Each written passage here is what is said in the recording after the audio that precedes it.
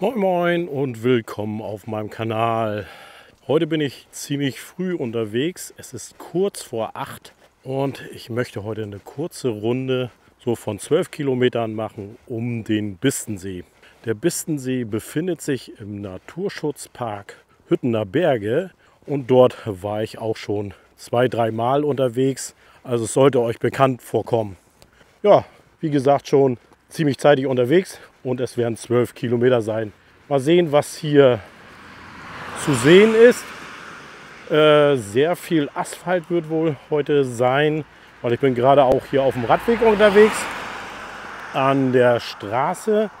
Deswegen ist es auch etwas lauter. Ich hoffe, ihr seht mich überhaupt. Ich bin heute auch ein bisschen mehr bepackt, weil ich habe mein Fotoapparat mit, die Spiegelreflex und mal sehen, vielleicht kommt mir das ein oder andere Schöne noch vor die Linse. Also seid gespannt und ich würde mich freuen, wenn ihr mich auf dem kleinen Spaziergang am frühen Morgen begleitet.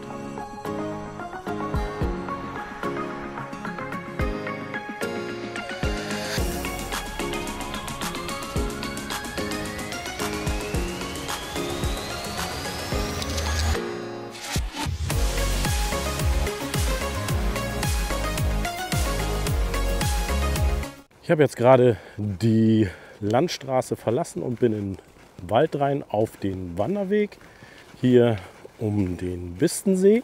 Und wo ich so gerade so in den Wald reinschaute, sah ich ein Reh, was sich denn von mir gemütlich ablichten ließ. Ich hoffe, eines der Bilder ist was geworden und ich zeige es euch jetzt hier, wie es da steht. Also es hat zwar was gemerkt, dass da irgendwas ist. Also sie hat mich bemerkt, aber es blieb ganz ruhig stehen und hatte dann nachher auch noch weiter gefressen. Wenn das so weitergeht hier mit dem Wild, dann komme ich gar nicht so weit oder ich brauche ganz lange heute, weil eben gerade schon auf diesem Weg hinter mir stand auf einmal ein Reh ungefähr 20 Meter von mir weg, hatte nur verdutzt geschaut, was da rumsteht aber konnte nicht so wirklich einsortieren, was es ist. Übrigens, ich weiß nicht, ob ihr das seht, da steht schon wieder ein Reh auf dem Weg, ganz hinten da im Schatten.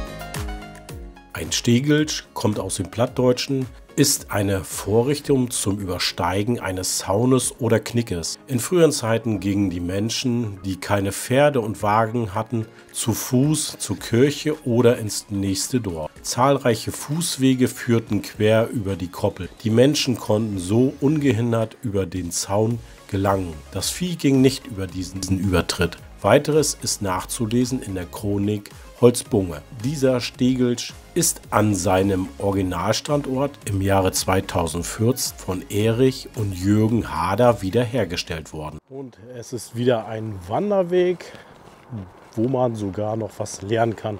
Das kannte ich übrigens auch noch nicht. Ich bin zwar ein Norddeutscher, aber Plattdeutsch bin ich da doch nicht so firm drin. Ich kann es zumindest verstehen, da meine Tante und meine Oma Plattdeutsch geredet hatten. Aber das Mecklenburger Platt.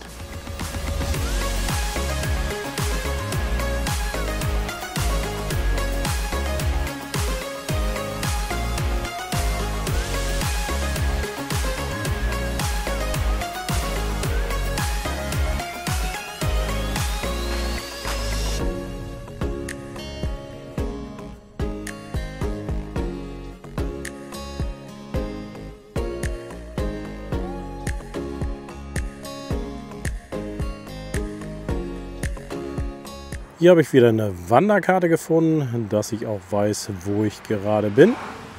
Und das Gute ist hier, man hat hier auch einen QR-Code, wo man zu einer App kommt, wo die ganzen Karten nochmal gedownloadet werden können.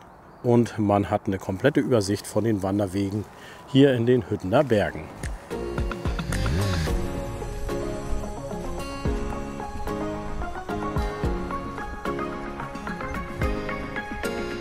Jetzt ist auch wieder der Weg etwas angenehmer. Gerade ging es an einer, ich nehme an, Landstraße wird es gewesen sein, also keine Bundesstraße.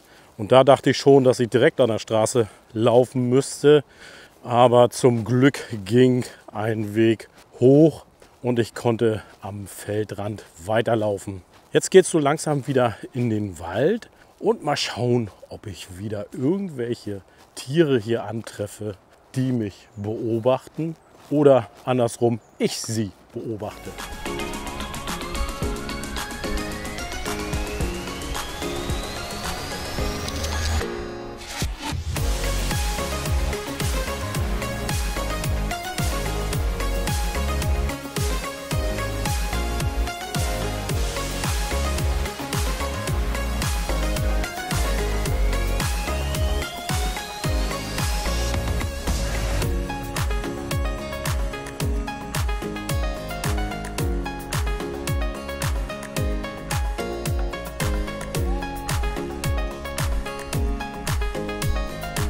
Aber mit dem Wetter habe ich heute auch richtig Glück, weil gestern hat es hier noch tierisch geregnet und darum war die Wahl des Schuhwerks sehr wichtig, weil die Wege im Wald sind doch ganz schön schlammig, was natürlich auch dem Herbst geschuldet ist.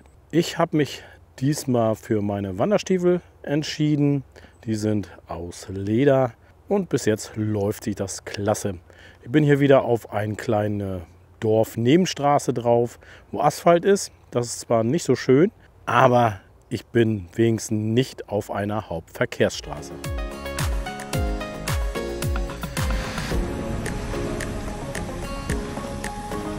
Wir sind hier noch mitten in der Maisernte.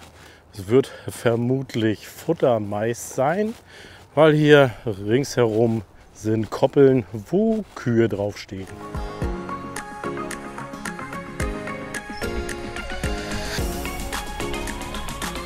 Hier bin ich jetzt angelangt am Katerberg und ich bin hier unten. Das ist übrigens der Naturpark Hüttener Berge und hier habe ich euch übrigens auch schon mal hingeführt, genauso wie hier zum Ramsee. Schaut doch gerne mal in meinen Playlisten, da findet ihr die entsprechenden Wanderwege dazu.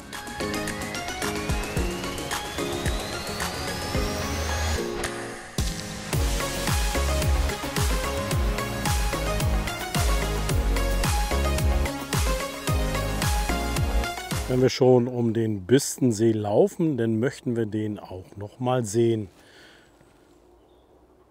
Ist eigentlich sehr schade, dass man ganz wenig am See entlang läuft, weil es ist doch eigentlich ganz schön ansehnlich. Wenn ich jetzt in diese Richtung weitergehen würde, da wäre der Wanderweg gesperrt. Also ich hatte vorhin schon mal ein Schild gezeigt, da wo es angekündigt ist, dass in 500 Meter der Wanderweg gesperrt ist vom Bürgermeister aus. Also gehe ich jetzt diesen Weg hier wieder zurück und werde so langsam zum Auto wieder kommen. Ich habe jetzt noch mal grob drei Kilometer. Ich glaube nicht, dass da noch was Spektakuläres kommt, aber wenn denn, dann zeige ich es euch natürlich. Kurz zum Wanderweg. Er führt sehr oft an der Straße oder auf Radwegen entlang. Das ist sehr, sehr schade. Viel zu wenig Wald. Da wäre dann die Idee oder der Tipp, besser in den Hüttener Bergen zu wandern, weil da ist man wirklich im Wald unterwegs. Und sonst gibt es hier auch nicht so viel zu sehen. Okay, ich hatte zum Anfang ein paar Rehe vor die Linse bekommen, die ich auch ablichten konnte. Darüber habe ich mich sehr gefreut. Aber sonst ist der Weg hier eher langweilig. Das soll es denn auch für dieses Video denn wieder einmal gewesen sein. Außer es kommt gleich noch auf die letzten drei Kilometer irgendwas Spektakuläres, was ich euch zeigen kann. Ansonsten, wer neu ist hier, lasst gerne ein Abo da. Drückt auch die kleine Glocke daneben. Dann bekommt ihr immer Bescheid, wenn ein neues Video von mir hochgeladen ist. Und ich würde mich über Kommentare, Likes, sehr freuen. Denn heißt es für mich, wie immer zu sagen, bleibt schön gesund und tschüss.